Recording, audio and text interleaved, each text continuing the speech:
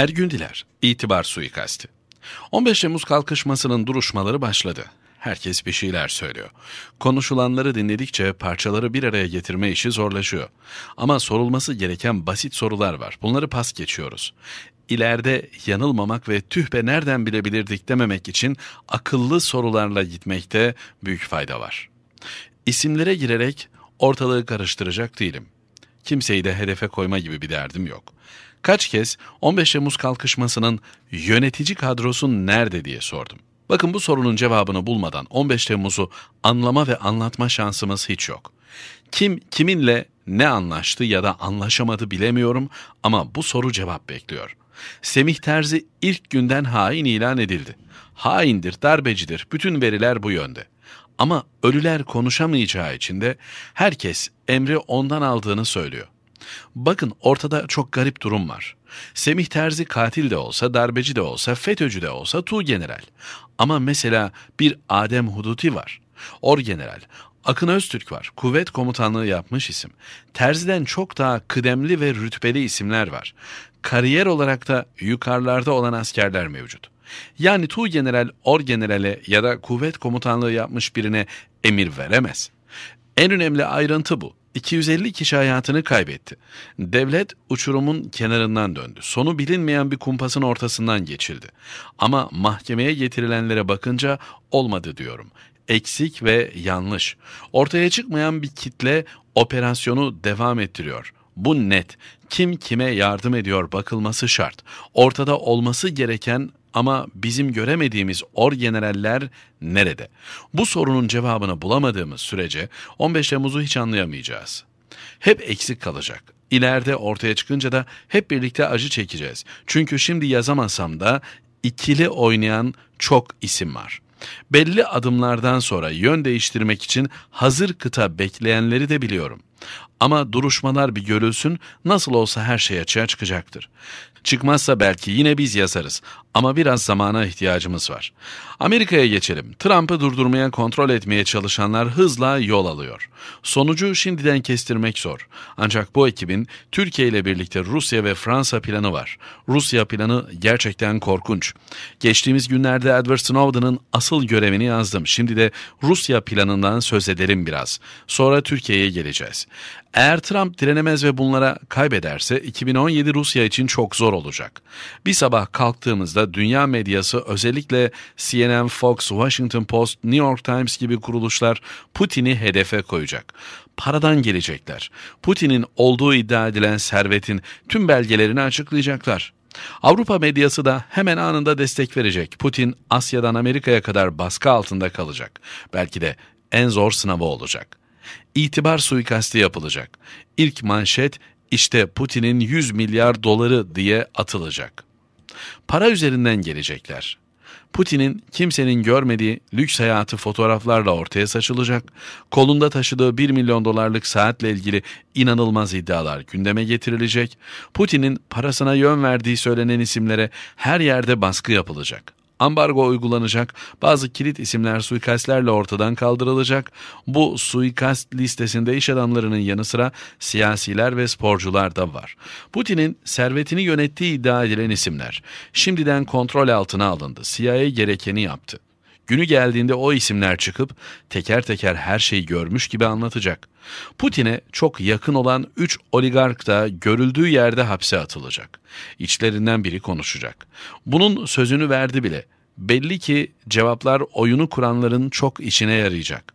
Bu süreçte Putin'le yakın olan başka ülke liderleri de hedefte olacak. İlk olarak Kazakistan Cumhurbaşkanı Nur Sultan Nazarbayev.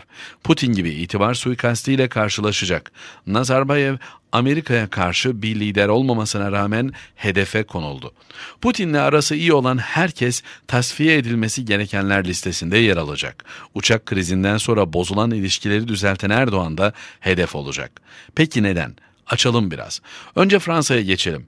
Fransa Amerika'nın Avrupa'daki en güçlü düşmanıdır. Fransa eğer 2020 yılına kadar ağır şekilde cezalandırılmazsa Amerika'nın Avrupa'da etkinlik kurma ihtimali hayal olur. Amerika, NATO'daki gizli ordularıyla dünyanın her noktasında ülkeleri karıştırabilecek iktidarlara yön verecek güce sahiptir.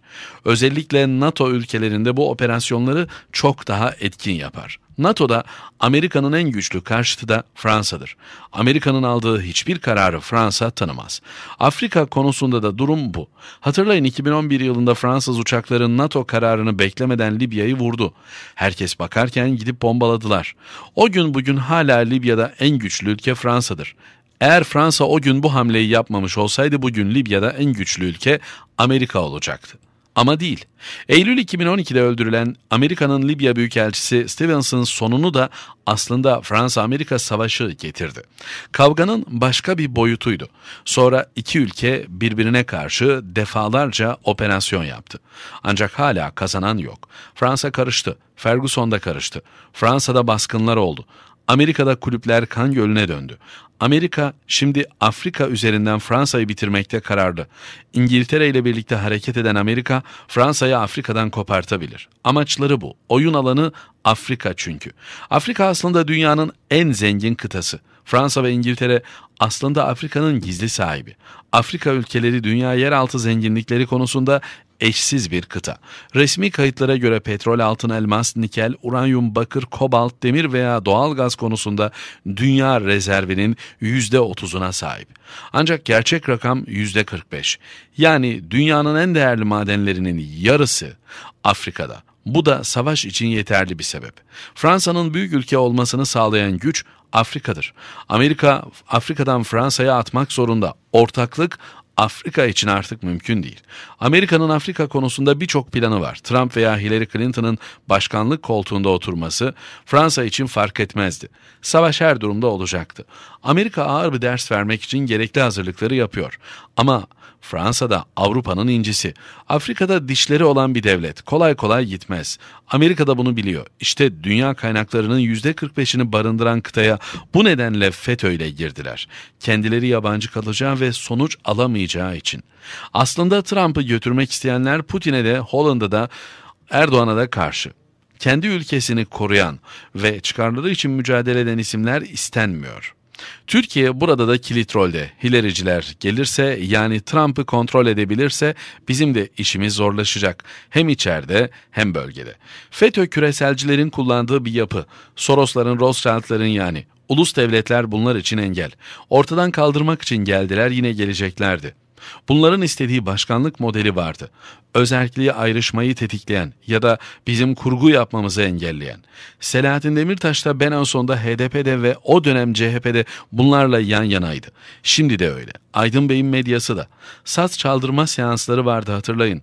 Buradaki operasyonu yürütenler zincirin sonundaki Hillary'ye destek veren güce bağlıydılar. Ama bizler bunu pek görmek istemezdik. 15 Temmuz kalkışmasında da aynı bölünmüşlük vardı. Trump'ı getiren güçle Hillary'yi iten güç darbede de kapıştılar. Biz görmedik. O kapışma şimdi duruşma safhasında da sürüyor. Görebiliyoruz bunu.